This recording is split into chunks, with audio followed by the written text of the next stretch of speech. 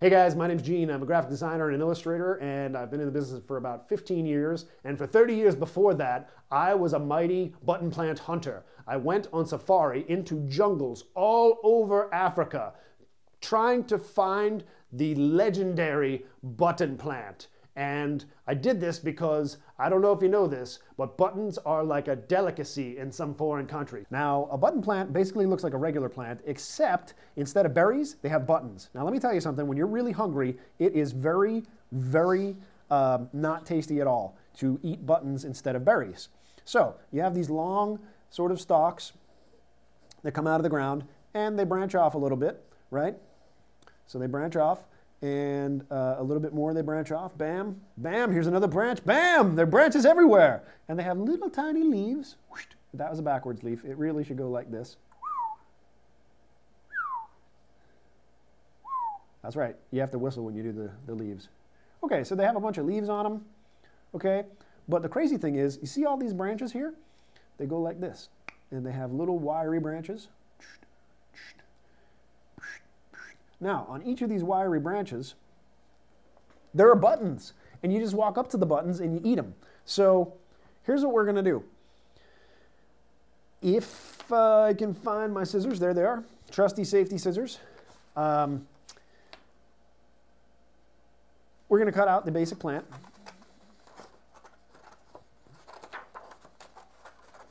Complete with all the branches. Boom, boom, boom, boom, boom, a branch.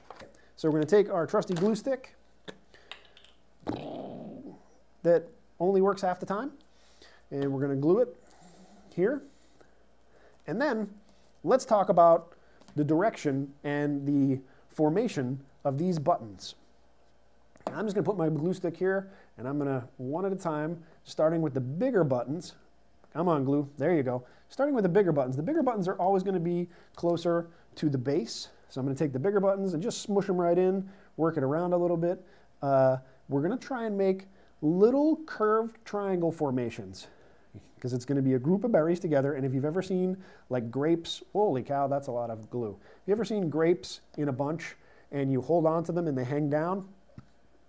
It's kind of like um, a curved triangle. So that's exactly what we're going to do here. Little curved triangle. And by the way, don't eat these buttons. These are just for show. Uh, you might be able to find edible buttons. That'd be pretty cool.